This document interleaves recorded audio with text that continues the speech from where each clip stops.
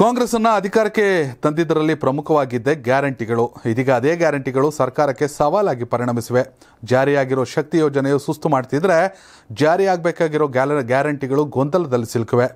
ಒಂದ ಎರಡ ಗ್ಯಾರಂಟಿ ಜಾರಿಯಿಂದ ಕಾಂಗ್ರೆಸ್ಗೆ ಎದುರಾಗಿರೋ ಸಾಲು ಸಾಲು ಸವಾಲುಗಳು. ಅದರಲ್ಲೂ ಸದ್ಯಕ್ಕೆ ಸರ್ಕಾರವನ್ನು ಇಕ್ಕಟ್ಟಿಗೆ ಸಿಲುಕಿಸಿರೋದು ಅನ್ನಭಾಗ್ಯದ ಅಕ್ಕಿ. ಮಂಗಳವಾರ ಪ್ರತಿಭಟನಾ ಕಳಗಕ್ಕೆ ಸಾಕ್ಷಿಯಾಗಿದ್ದ ಅಕ್ಕಿ ಕದನ ಈಗ ರಾಷ್ಟ್ರ ರಾಜಧಾನಿಗೆ ಶಿಫ್ಟ್ ಆಗಿದೆ. ಖುದ್ದು ಸಿದ್ದರಾಮಯ್ಯ ಅವರೇ ದೆಹಲಿಯಲ್ಲಿ ಬೀಡು ಬಿಟ್ಟಿದ್ದಾರೆ. ಕೇಂದ್ರ ಗೃಹ ಸಚಿವ ಅಮಿತ್ ಶಾ ಸೇರಿದಂತೆ ಆಹಾರ ಸಚಿವರನ್ನು ಕೂಡ ಸಿಎಂ ಭೇಟಿಯಾಗಿ ಮಾತುಕತೆ ನಡೆಸಲಿದ್ದಾರೆ. ರಾಷ್ಟ್ರಪತಿ ದ್ರೌಪದಿ ಮುರ್ಮು ಜೊತೆಯೂ ಪ್ರತ್ಯೇಕ ಮಾತುಕತೆ ನಡೆಯುವ ಸಾಧ್ಯತೆ ಇದೆ. ಅನೇಕ ರಾಜ್ಯಗಳ ಜೊತೆಯೂ ನಮ್ಮ ಮಾತುಕತೆ ನಡೀತಾ ಇದೆ. ಆದರೆ ವರ್ಷ ಪೂರ್ತಿ ಪೂರೈಸೋಕೆ ಕೆಲವರು ರೆಡಿ ಇಲ್ಲ. ಅದೇ ಕೇಂದ್ರ ಸರ್ಕಾರದ ಏಜೆನ್ಸಿಗಳಾದ್ರೆ ಈ ಸಮಸ್ಯೆ ಇರೋದಿಲ್ಲ. ಎಲ್ಲವೂ ನಾಳೆ ಗೊತ್ತಾಗುತ್ತೆ ಅಂತ ಸಿಎಂ ಸಿದ್ದರಾಮಯ್ಯ ಅವರು ತಿಳಿಸಿದ್ದಾರೆ. ಹೌದು ವೀಕ್ಷಕರೇ ಬಿ ಜೆ ಪಿ ಆರೋಪ ನೀವು ಹತ್ತು ಕೆ ಜಿ ಅಕ್ಕಿ ಕೊಟ್ಟು, ಕೊಡ್ತೀವಿ ಅಂತ ಹೇಳಿದ್ದು, ಕೇಂದ್ರ ಸರ್ಕಾರ ಐದು ಕೊಡುತ್ತೆ, ನಾವು ಐದು ಸೇರಿಸ್ಕೊಡ್ತೀವಿ ಅಂತ ಏನು ಹೇಳಲಿಲ್ಲ. ನೀವು ಕೊಡ್ತೀನಿ ಅಂದಿದ್ರೆ ಕೊಡಿ.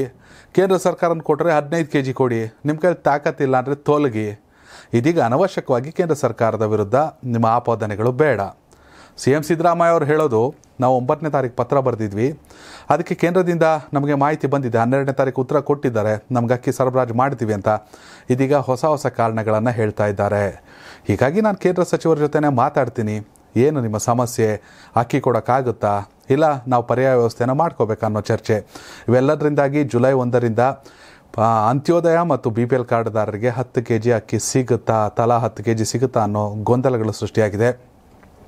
ಆಹಾರ ಸಚಿವರಾಗಿರುವಂತಹ ಮುನಿಯಪ್ಪ ಅವರಾಗಿರ್ಬೋದು ಅಥವಾ ಸಿ ಎಂ ಸಿದ್ದರಾಮಯ್ಯ ಅವರಾಗಿರ್ಬೋದು, ಹೇಗಾದರೂ ಮಾಡಿ ಅಕ್ಕಿಯನ್ನು ಕೊಡೋ ಪ್ರಯತ್ನವನ್ನು ನಾವು ಮಾಡೇ ಮಾಡ್ತೀವಿ, ಕೊಟ್ಟೆ ಕೊಡ್ತೀವಿ ಅಧಿಕಾರದಲ್ಲಿ ಇರೋವರೆಗೂ ಆದರೆ ಆರಂಭದಲ್ಲಿ ಒಂದಷ್ಟು ತೊಡಕಾಗ್ಬೋದು, ನಿಧಾನ ಆಗ್ಬೋದು ಅನ್ನೋ ಮಾತುಗಳು ಕೇಳಿ ಬರ್ತಾ ಇದೆ.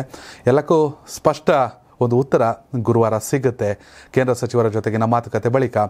ನೇರವಾಗಿ ಪ್ರಧಾನಿ ನರೇಂದ್ರ ಮೋದಿ ಅವರನ್ನೇ ಭೇಟಿಯಾಗೋದಾಗಿ ಸಿದ್ದರಾಮಯ್ಯ ಹೇಳಿದರು, ಆದರೆ ಅಮೆರಿಕ ಪ್ರವಾಸದಲ್ಲಿ ಪ್ರಧಾನಿ ಇರೋದ್ರಿಂದ ಅದು ಸಾಧ್ಯ ಆಗಿಲ್ಲ. ಹೀಗಾಗಿ ಕೇಂದ್ರ ಸಚಿವರುಗಳ ಜೊತೆ ಮಾತುಕತೆಯನ್ನು ನಡೆಸೋ ಸಾಧ್ಯತೆ ಇದೆ. ನಡೆಸ್ತಾರೆ.